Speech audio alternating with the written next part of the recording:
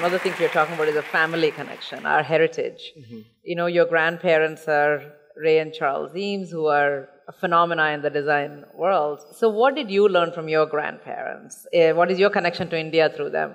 The story of India for our family was always always there. I remember, you know, Ray once said that her favorite music was the sound of the train whistles in Rajasthan. So that's part of our India story, and uh, it starts with my grandparents, Charles and Ray Eames. They came to uh, India in 1958 at the invitation of, uh, of Nehru, and he was kind of concerned about kind of lessening of the quality of things, and also sort of how to deal with westernization. For those of you who may not be as familiar with Charles and Ray's work, this is a postcard they sent. This chair, the Eames, they're kind of most famous for furniture, but they had a beautiful and very holistic vision of design. Uh, this is a house that they designed. They came to India.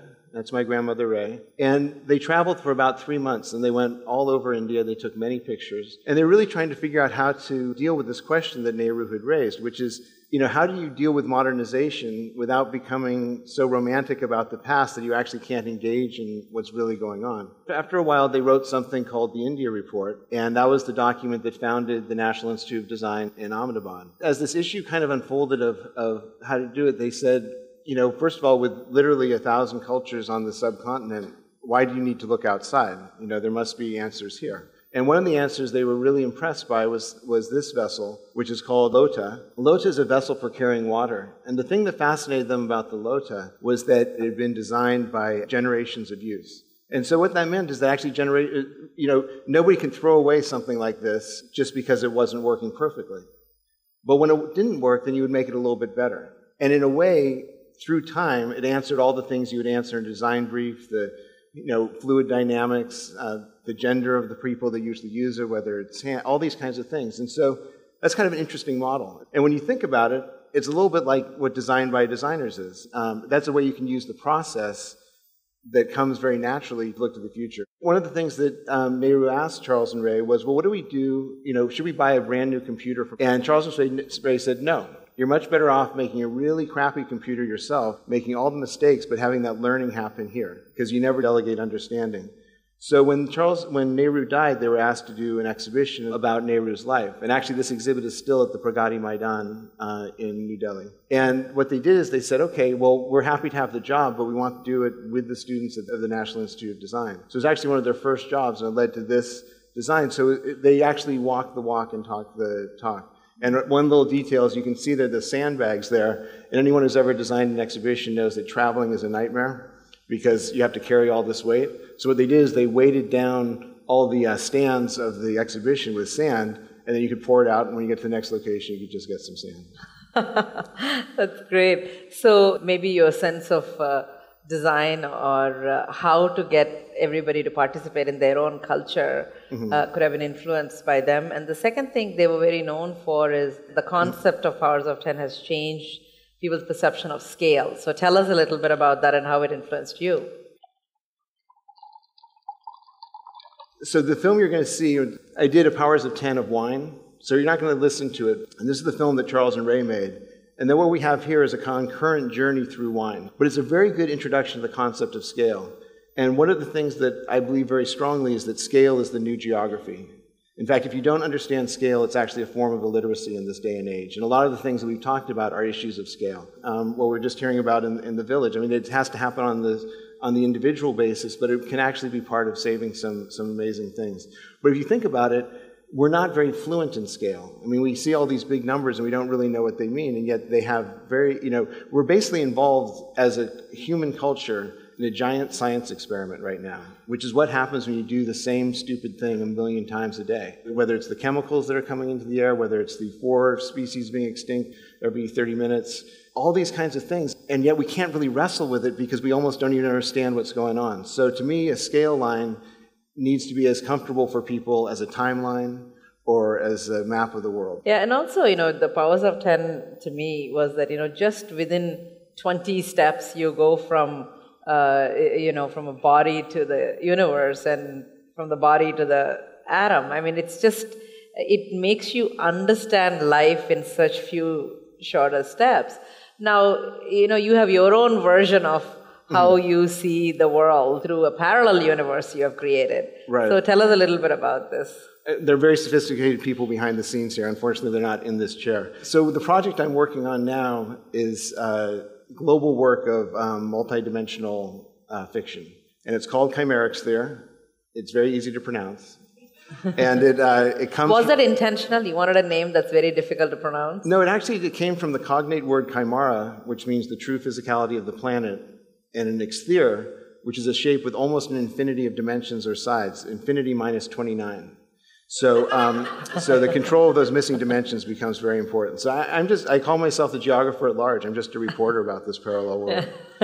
so what we do is we go around the world installing bronze plaques and historic sites that honor events from the parallel world in our world. This is the Museum of the Bench, installed in what we call Abilene, Texas. We have about 89 sites in 19 countries. This is actually the least visited site. It's under 60 feet of water off the coast of Scotland. So um, one of the nice things about about being involved in a parallel universe is sometimes the land values are still pretty good. So what we did is that we installed um, this plaque.